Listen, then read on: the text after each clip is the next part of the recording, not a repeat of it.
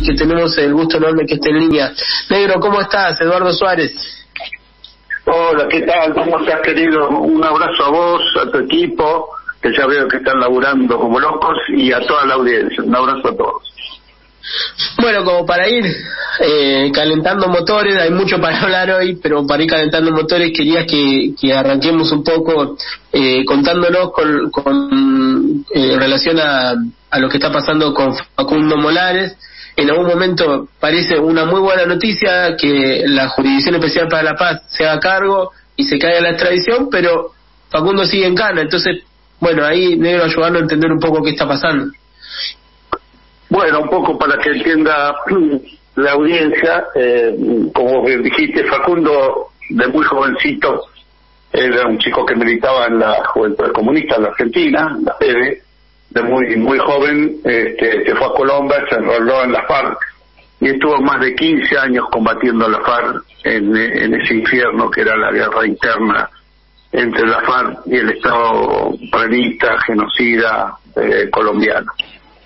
Eh, se inician, como bien sabés, como tu audiencia también sabe, se inicia el proceso de paz 2016, que culmina con los acuerdos de paz. Esos acuerdos no solamente son dos tipos que se dan la mano, sino que hay eh, acuerdos establecidos, normas, normas jurídicas que se han establecido. Se establece eh, normas que tienen rango constitucional, eh, un poco para que entienda la audiencia.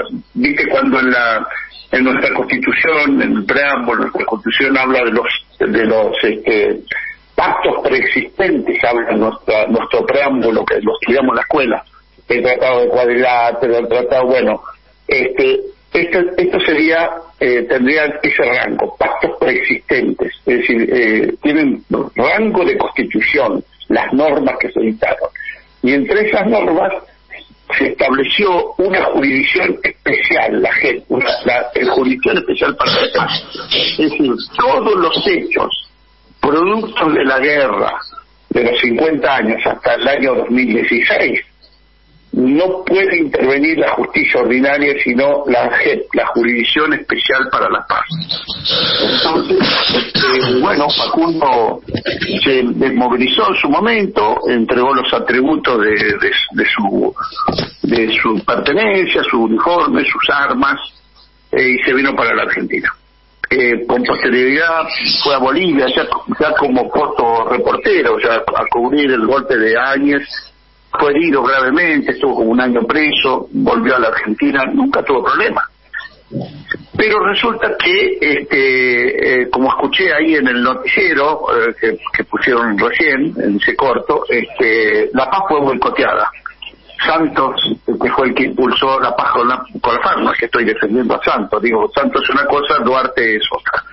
Duarte, que fue el que vino, eh, claramente enfrentó ese proceso de paz claramente boicoteó ese proceso de paz, todos esos muertos hicieron referencia recién en tu noticiero tiene que ver con esto, más este, las matanzas de líderes y lideresas, eh, casi 800, más el arrasamiento de pueblos enteros, es decir, se boicoteó la paz. Entre los que boicotean la paz, hay funcionarios judiciales. Allá y acá, en en Colombia y en la Argentina, que colaboran. Básicamente hay fiscales, este, el fiscal general colombiano es un hombre que, que, es eh, uribista, un tipo que boicotea la paz. Y por lo tanto, ¿qué pasó? Eh, ordenaron la orden de captura, no a la gente, sino una justicia de cajetá, una justicia ordinaria, como si fuera una justicia, eh, eh, digamos, para, para, para, para que le quede claro a la gente eh, la diferencia a veces que hay entre la justicia ordinaria y la justicia federal. Bueno, una justicia ordinaria que investiga cualquier cosa, este, de un pueblo ordenó eh, la orden de una circular roja, orden de, detención con fines de extradición. Esa circular ingresó a la Argentina, la Argentina que también es garante de paz eh, la Cancillería Argentina y el gobierno argentino sabiendo que hubo un proceso de paz, sabiendo que hubo leyes de la paz y además habiendo sido garante de esa paz, permite que una eh, una justicia que no es competente eh, ingrese una orden de detención con fines de extradición. Dice que está bien. El gobierno argentino dice que está bien, porque un poco, voy a empezar para el, final también, quien tiene preso Facundo no es un juez, por más que los, eh, funcionarios argentinos digan lo tiene preso un juez, no, no es un juez. El, eh, Facundo no tiene causa en la Argentina, sería un juez si Facundo tiene causa en la Argentina. Facundo es preso del gobierno, de este gobierno, porque el gobierno es el que permite un Estado genocida, guerrerista, terrorista colombiano, y por lo tanto sus personeros que boicotean la paz, eh, permite ingrese un pedido de detención con fines de extradición que es, es irregular, incompetente y arbitrario. Eso lo permite el gobierno argentino. El juez, en todo caso, es que cumple la orden, pero el que da la orden es el gobierno. Entonces, bueno, a partir de ahí se empieza una odisea. Eh, a Facundo lo detienen. Facundo vivía en Buenos Aires. Fíjense lo que hace la maniobra que hace Aníbal Fernández y los servicios de inteligencia argentinos esperan que Facundo haga dos mil kilómetros, que vaya a ver a su papá a Trevelin y lo, lo, detienen ahí, lo detienen en Trevelin, eh, en Esquel, eh, y lo ponen a discusión y juez de ahí, que es el juez entonces, a partir de ahí, hasta hoy está preso en enero, en enero de este año, eh, y prácticamente el gobierno, nuevamente el gobierno, más que el juez, no le, no le ahorró sacrificio. El Servicio Penitenciario Federal eh, boicoteó todo lo que es la salud de Facundo, muy resquebrajada, nos costó muchísimo, nos, nos rechazaron todos los áreas cortas a favor Facundo porque los médicos del servicio penitenciario decían que está mejor en su casa. El servicio penitenciario está dirigido por María Laura Garrigós de Revery, de Revery, que era la presidenta de una organización de jueces kirchneristas, sigue siendo presidenta de Justicia Legítima, una organización de jueces kirchneristas. Bueno, el Ministerio de Justicia, que, depende del servicio penitenciario y el propio servicio penitenciario, la verdad que lo sometieron a, a Facundo a todo tipo de, de torturas, de iniquidades. Hasta que llegamos al juicio, en el juicio, la verdad que los fiscales claramente identificados con los fiscales colombianos, el, trajeron un fiscal especial, eh, bien bien reaccionario como es eso, Lerno, eh, y la verdad que le dimos una paliza. El juez tuvo que, incluso de, no sé, como 10 delitos que lo acusaban allá, tuvo que rechazar la extradición por por 7 o por 8, que hizo lugar a la extradición por dos o tres delitos. Eso lo apelamos a la Corte y esperamos que la Corte revierta, revierta esto porque la verdad que era una locura. En el interín, nuestros colegas y amigos eh, colombianos, básicamente el doctor Eduardo Matías, que está en este momento acá, ese es otro capítulo, eh, le notificó, llevó adelante la notificación que nosotros hicimos, nosotros eh, notificamos a la justicia ordinaria colombiana que se deje de joder que se deja romper la pelota y le mande todo a la gente. Y a su vez a la gente decimos, señores, esto es de ustedes, intervengan ustedes.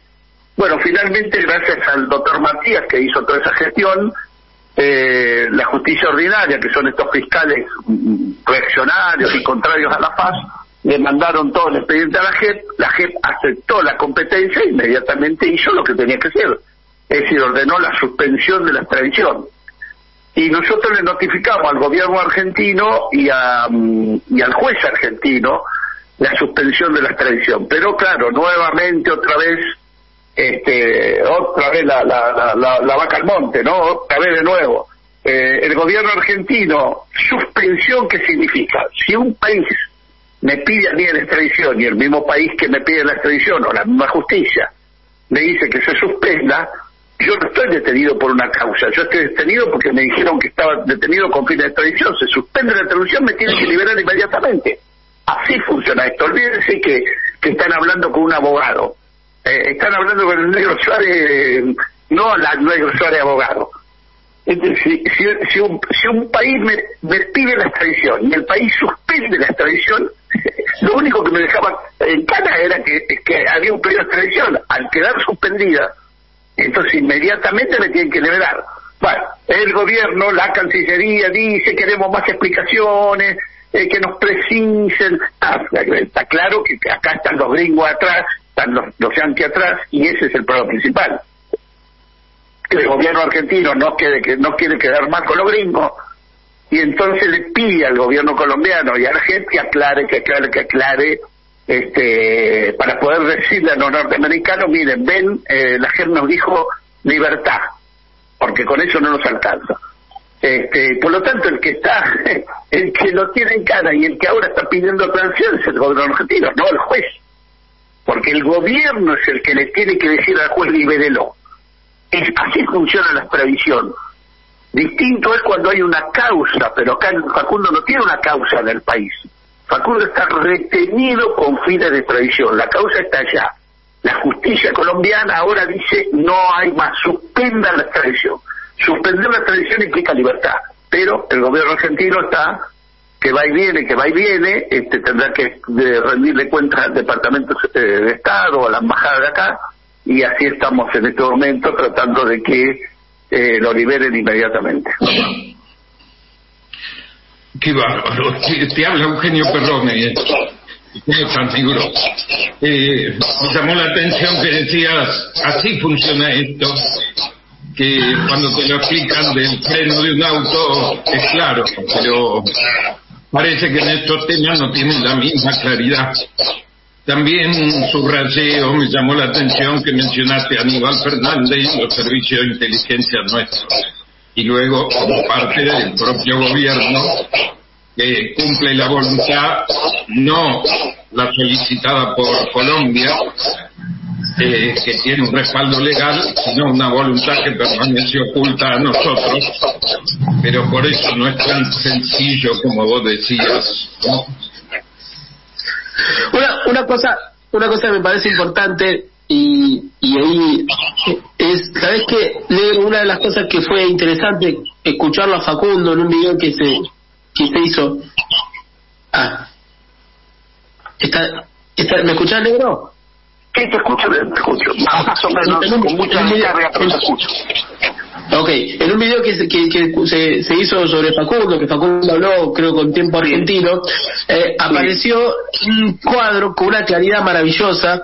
Eh, creo que, que eso es algo que nos hace falta en este momento histórico en el que los medios de comunicación, esta guerra de cuarta generación que ustedes con convocatoria segunda independencia y con Kike habían laburado en algún momento, eh, hace que uno se apabulle, que, que hablemos de derrota, que parece que nos pasan por arriba ¿Cuál es tu análisis sobre la coyuntura, sobre la economía, sobre lo que está pasando y sobre la mirada que se tiene para con ustedes, los luchadores, los militantes, los movimientos sociales, donde por momentos por reclamar parece que estamos, se nos puede caracterizar como terroristas, ¿no?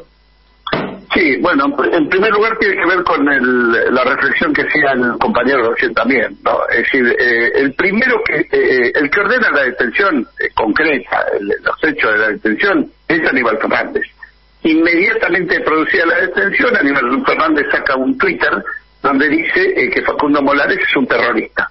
Ah, no, es un terrorista, nosotros tenemos la información de los servicios de allá, es un terrorista, le decían Camilo el argentino, es un terrorista, ¿no? Eh, y ahora el que ordena la, la, policía, la, la policía de seguridad portuaria acaba de este, detener a uno de los dos, al principal jurista colombiano que vino acá, que iba a participar en la conferencia de prensa, también este, con el mismo, con la misma cuestión. ¿Y por qué está relacionado la reflexión de tu compañero y esto que digo con esto que vos me, me preguntás?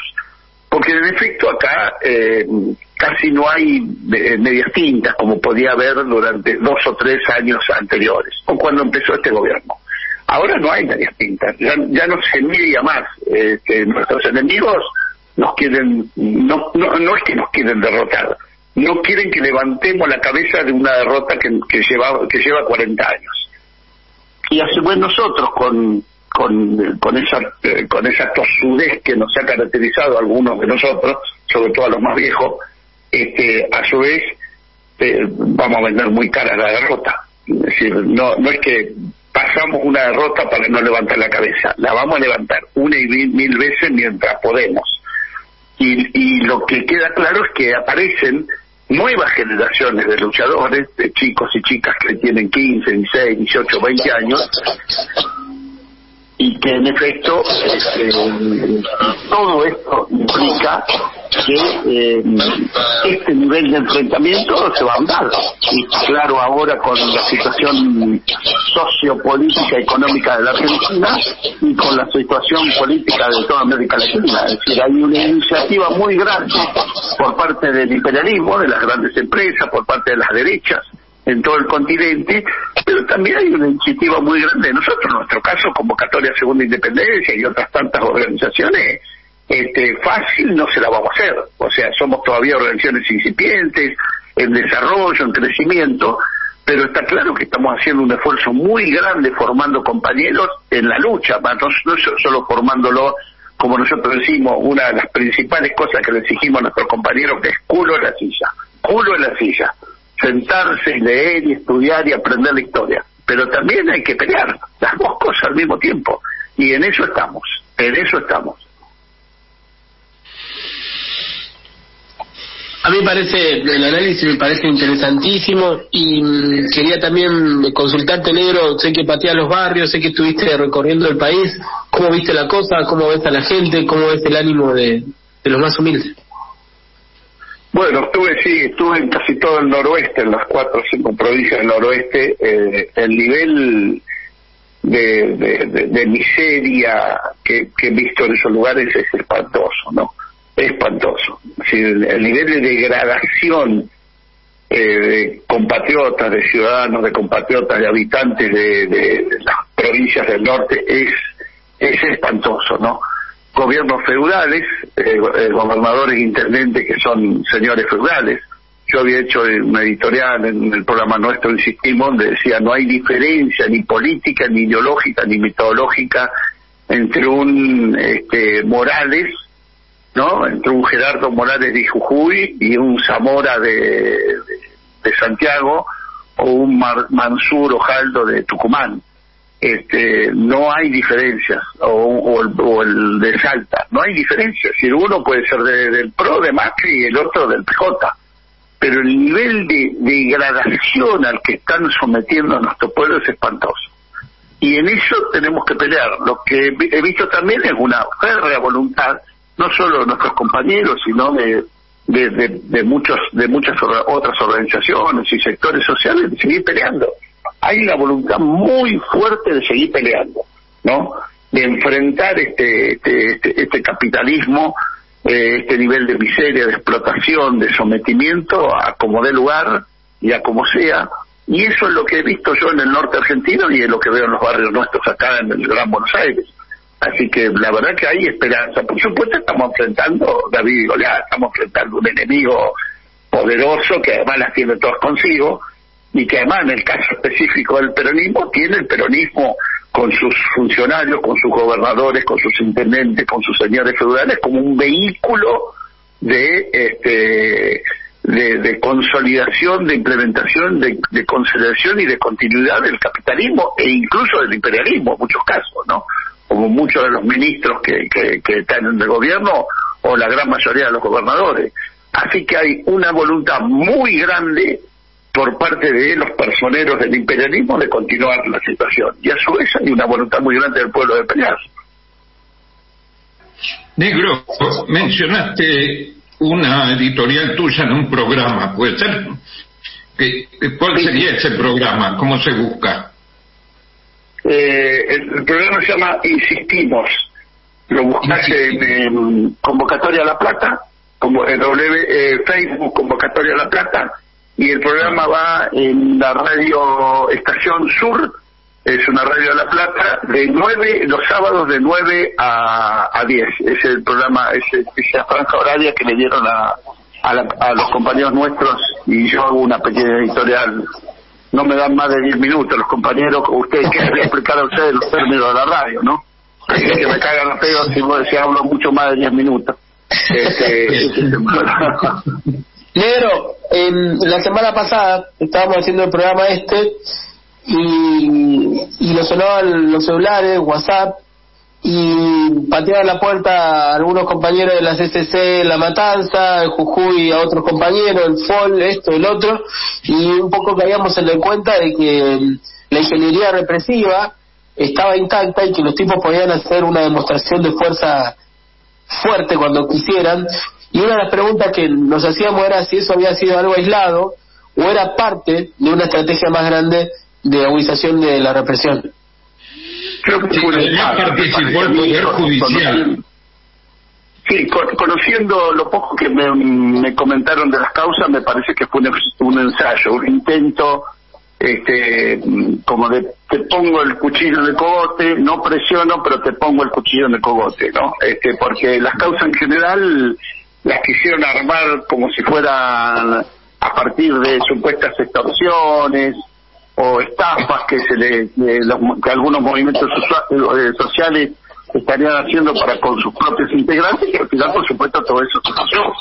Estas causas no pueden no no no ni siquiera llegan a la instancia de no han podido ni siquiera citar la indagatoria fíjense ustedes que eh, ahí sí tengo que hablar como abogado. Si, yo, si, yo soy imputado una causa y hay elementos para imputarme lo primero que tiene que hacer el fiscal o el juez depende del código de procedimiento de tal lugar es citarme indagatoria es decir de, si hay un mínimo estado de sospecha sobre mí que puede haber cometido un delito el, fiscal le pide al juez que me cite a declaración indagatoria eso no ha pasado no ha llegado ni siquiera a esa instancia entonces está claro que el mensaje un intento de este, de demostrar que eh, esto que yo decía antes está relacionado con la pregunta anterior. Nosotros también, nosotros también vamos por ustedes, ¿no? esa es la cuestión. eh, Eugenio, ¿tenés una pregunta vos? Un comentario, si me permiten. Eh, Diolinda nos dio una clase de educación.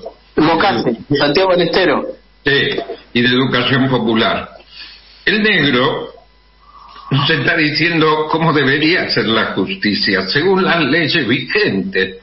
No está planteando nada, no, sino si se acatara la ley, los procedimientos no serían estos. Es más eh, sensible el gobierno a las voces ocultas de la embajada que a las leyes propias.